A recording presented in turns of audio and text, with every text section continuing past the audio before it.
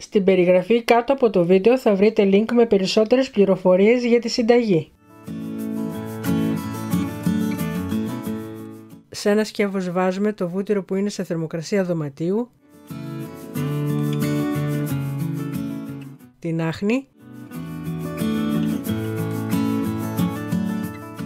το αυγό και δουλεύουμε καλά.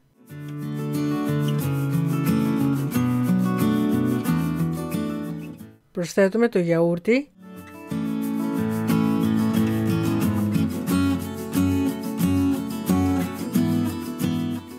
το μπέικιν, τις βανίλιες και συνεχίζουμε το ανακάτεμα.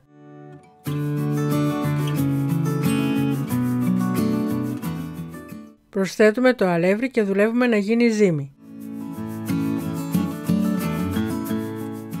Για να βλέπετε όλες τις συνταγές κάντε εγγραφή και πατήστε το καμπανάκι.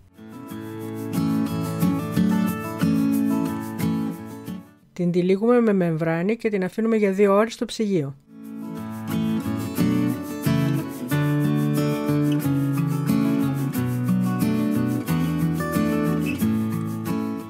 Όταν είναι έτοιμη την ανοίγουμε σε ορθογώνιο φύλλο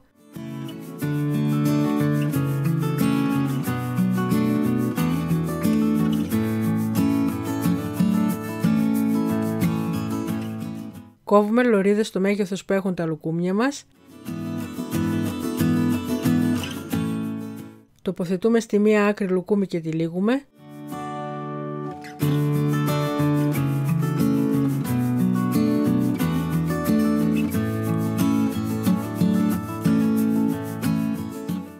Το τοποθετούμε σε ταψί με αντικολλητικό χαρτί και ψήνουμε στους 180 βαθμούς Κελσίου μέχρι να ροδίσουν.